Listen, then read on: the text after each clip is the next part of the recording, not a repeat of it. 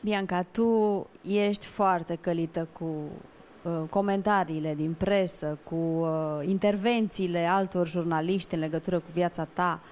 Cum se simte Victor în toată povestea asta? Uh, el este afectat pentru că nu a fost niciodată supus la o astfel de presiune și de tensiune. Normal că te afectează și ca și cuplu. Se aștepta să fie așa? Sincer, nu, pentru că înainte de căsătorie am zis, băi, o să ne căsătorim și o să vezi că toată lumea o să ne lasă în pace și o să devenim doi anonimi care o să se iubească până la adânci bătrâneți. E, se pare că după ce ne-am căsătorit, toată lumea așteaptă un divorț.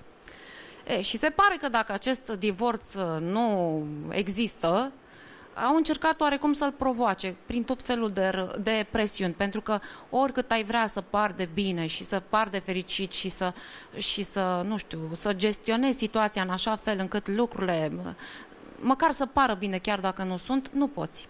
Te afectează. Vrei, nu vrei, te afectează. Dacă ești om uh, și ai un bun simț bine dezvoltat, te afectează răutățile din jurul tău. Au fost discuții între voi? Nu au fost discuții, dar tensiuni, pentru că nu e ușor să faci față unei astfel de situații. Noi plecăm în fiecare zi, sunt patru mașini de paparații, am două intrări la bloc, două după el, două după mine. Și lumea își mai pune întrebări, ai, cheamă Bianca. Nu, ei acolo stau, de dimineața până seara. La un moment dat mă întâlnisem, unul era chiar de la voi și întreabă, Pisi, dar ce se întâmplă? Noi suntem într-o relație, stai de dimineața până seara aici? Mă rog, sunt adevărați oameni profesioniști care vor să găsească ceva, nu știu ce. Și atunci nu e tocmai ușor să fii zilnic urmărit, să nu faci nimic și totul să se speculeze și așa mai departe. Apropo de speculare,